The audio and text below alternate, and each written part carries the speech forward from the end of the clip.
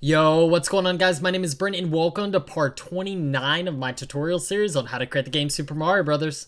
So I know some of you are excited to see stuff like uh, screen overlays and stuff like that uh, for controllers, uh, but we're not going to do that till kind of the end of the series uh, where we start porting to Android and testing it on the Android, so you guys are just going to have to wait. Sorry about that.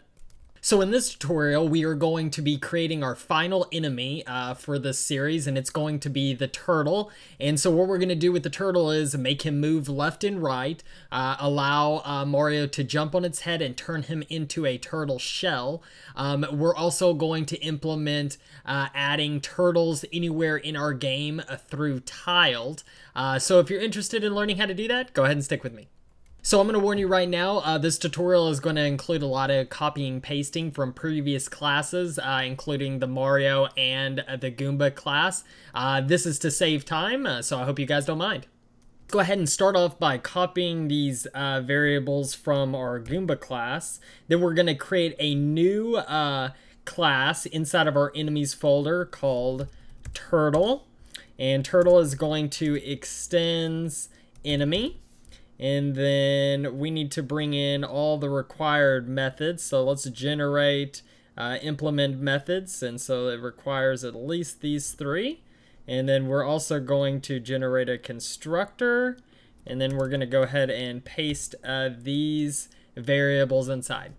Now, in addition to these variables, a turtle has different states. A Goomba only has a walking state. Um, a turtle can be a shell or be walking. So let's add a public enum state and say walking or shell. And then since we have that public state, uh, current state, and public state previous state like we did in our Mario class. Now looking at the turtle sprite sheet, we're going to use these first two textures for uh, the walking animation, and then we're going to use this turtle shell uh, by itself uh, for the turtle shell. Uh, I think in the original Mario it alternates between these two, but it's extra work. You guys already know how to do it, so we're just going to use just this specific turtle shell. So let's get started by adding to our frames here. Frames equals new array this is a texture region array, and then we'll say frames dot add new texture region, and then we get screen dot get atlas dot find region, and we're finding the region named turtle. Now the first frame is it's zero on the x-axis, zero on the y-axis, and it's a 16 by 24 pixel uh, region. We're gonna copy this and paste it here and then the next one starts at 16. So those are our two uh, walking animation frames. Now let's say um, shell equals new, uh, let's just paste this here. We'll just edit this out. There we go. So shell will equal a new texture region. It might be beneficial if we had shell up here. So private uh, texture region shell. There we go. Let's define our walk animation equals new animation and it's going to take in a uh, float value to f and then our frames. Next, let's set our bounds, or actually, let's go ahead and uh, declare our current state equals our previous state equals uh, walking let's set the bounds of our sprite by, you guessed it, set bounds. And then we'll use get x, get y. Um, and then I know this is a 16 divided by Mario bros.ppm and then 24 divided by Mario bros.ppm go back to your uh, Goomba class here, and we're going to copy everything inside of the define enemy here. And we're going to go ahead and paste it inside of the turtle here. Um, and this is because uh, we're just defining them the same. They're both enemies. They collide with the same thing. Basic body structure is similar. So let's work on the hit on head method. What do we want uh, to be done when a turtle gets hit on the head? Well, we want the turtle to stop and turn into a shell. So let's code that. Um, if current state does not equal uh, shell, then what we want to do is we want to say current state equals a shell, but we also want to set the velocity velocity dot x to equal zero. That'll stop it. Okay, so with the update method, let's talk about what we're going to do. The first thing, we're going to set the uh, sprite's uh, region, the texture region. What graphic do we want to show?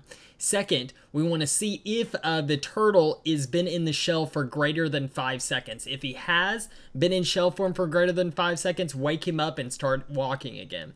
Uh, third, we want to set the position of our sprite where we're going to draw the sprite equal to our box 2D body, where he the box 2D body is. And then third, we want to make sure that we set the velocity of our box 2D body uh, based off of whether he's going left or going right, and maybe it switches when he collides with an object.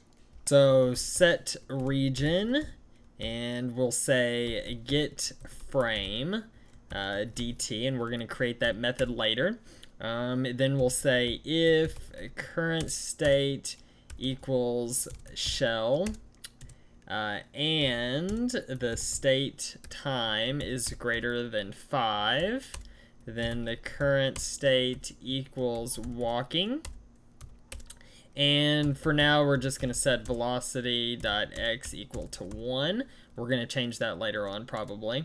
Then we're going to set the position of our sprite to be equal to our box2d body dot get position dot x minus uh, get width divided by 2. In this one, the y-axis I had to finagle a little bit um, to make it look right, so uh, you're just going to have to trust me on this one, b2 body dot uh, get position dot y minus 8 divided by mario bros dot ppm and you can adjust these things on your own and see what looks good for you guys um, finally, B2 body dot set linear velocity to our velocity. So let's create the get region method. Um, public texture region get frame, actually, float delta time. The first thing we're going to do is we're going to create a texture region called region.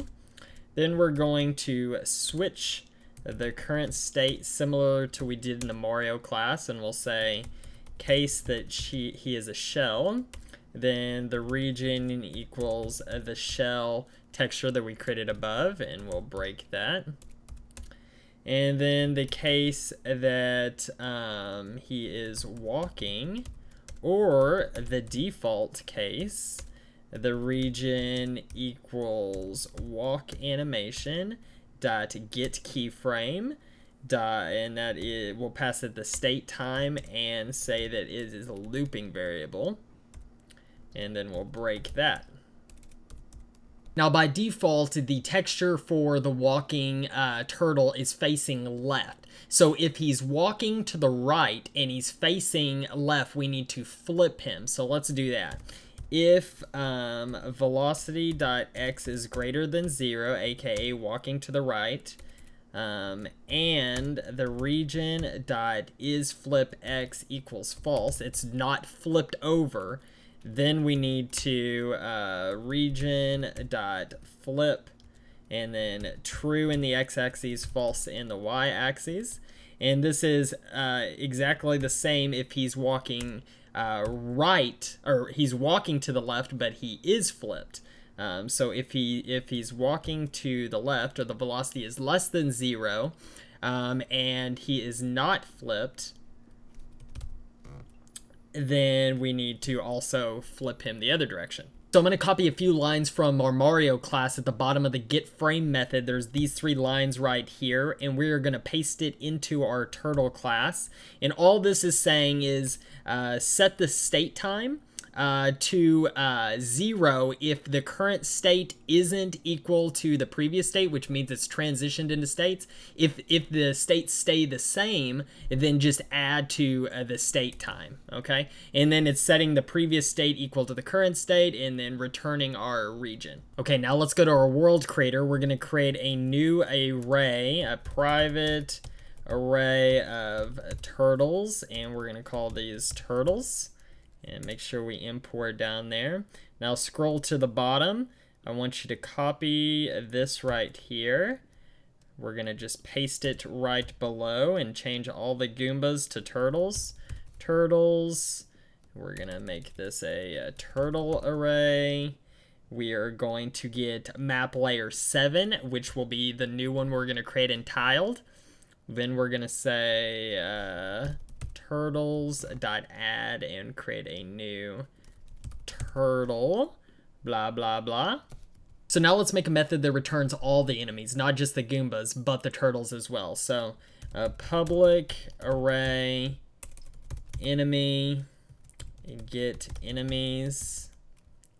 And so we'll create a array of enemy. Yes, that's the one. And then we'll say, we'll just call this enemies equals new array of enemy. Then we'll say enemies dot add all Goombas and enemies dot add all turtles and then return enemies. Simple as that. Now I want you to open up tiled. We are going to create a new layer here and a new object layer and call this turtles. Now we can just use this rectangular map object here and I'm using command uh, click on my Mac to place a turtle in a perfect square right there. So one turtle there and let's add a turtle between this block and I don't know. Let's add a uh, let's add a turtle down here as well for kicks. So make sure you save that up here. Then go back to Android Studios. And I forgot inside of our turtle class here, um, I set the shell region that says it starts at zero, which is the exact same as the first frame in our walk animation, which can't be the case. So let's set this to 64, which is uh, the pixel in which the uh, shell animation starts. So hitting the run button here, let's go explore. We got a turtle coming at me jumped on its head. He turned into a shell. Let's wait a couple seconds. Oh, he comes at me again. Let's go explore all these other turtle positions. We got one turtle there. Um, where was our final turtle? He was over here somewhere. There we go. And I never set these blocks to collidable, so that's why he didn't do it. So we'll have to change that in another tutorial. We totally did it. So that's pretty much it for this tutorial. I hope you guys learned something. Of course, we still got more things to do with this turtle, like having Mario kick the turtle and hit uh, collide with enemies and kill Goombas and stuff like that. We'll talk about those later on. Uh, but if you have any questions, comments, or concerns about this video, go ahead and post them below. I'm pretty good about getting back to everybody. Um, if you like the video, go ahead and hit that like and subscribe button. But more importantly, please share it if you do like it of course, trying to grow this channel, and you guys have been an amazing help. Uh, if you're feeling generous, check out my Patreon page. I give you two big thumbs up for that. I appreciate everybody watching, and I'll catch you guys next time. So here's a little homework for you guys if you're interested, you know, maybe feeling a little frisky on the weekend. Um, I want you to redesign the body for Turtles and Goombas because right now there are a few cases in which Mario is really high in the air, maybe he jumped off a platform and he's coming really fast, his velocity is really fast. So he actually goes through the head of uh, the enemy and he actually collides also not just with the head but with the body causing him to either shrink or die. And you're like, what the heck? I hit him from the head. I, I shouldn't have taken any damage. Um, so I want you to redesign uh, the Goomba or the turtle so that doesn't happen. Maybe later on um, we'll redesign it ourselves, uh, but for now it works in most cases. You get the general premise, so I'm going to go ahead and leave it the way it is. But I want to see you guys' designs, so let me know how it goes.